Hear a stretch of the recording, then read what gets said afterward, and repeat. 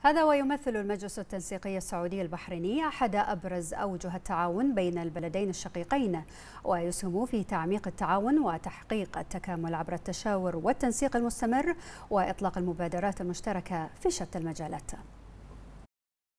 تحقيقا لتطلعات جلالة الملك عاهل البلاد المفدى وخادم الحرمين الشريفين أنشئ مجلس التنسيق السعودي البحريني في يوليو من عام 2019 ليكون نقطة انطلاقة لمزيد من التعاون المشترك وثمرة من ثمار التنسيق المستمر بين البلدين الشقيقين.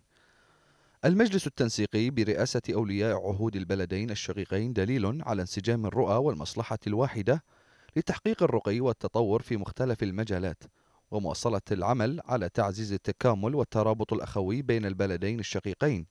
وفي الاجتماع الثاني لمجلس التنسيق السعودي البحريني الذي عقد في ديسمبر من العام 2021 تم خلاله إطلاق حزمة من المشاريع الاستثمارية الكبرى بمملكة البحرين واستعراض 65 مبادرة في مجالات عدة. ويهدف المجلس التنسيقي السعودي البحريني إلى تحقيق مصالح البلدين وتعزيز قوتها وتوفير فرص جديدة تعود بالنفع على شعبي البلدين.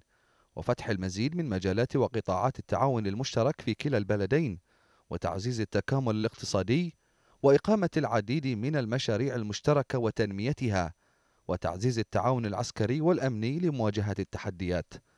هذا ويعمل المجلس وفقا لما نص عليه الاجتماع الأول والذي انبثقت عنه خمس لجان فرعية للعمل في عدد من المجالات ليجسد المجلس فصلا جديدا من العلاقات الأخوية الوثيقة التي تجمع البلدين.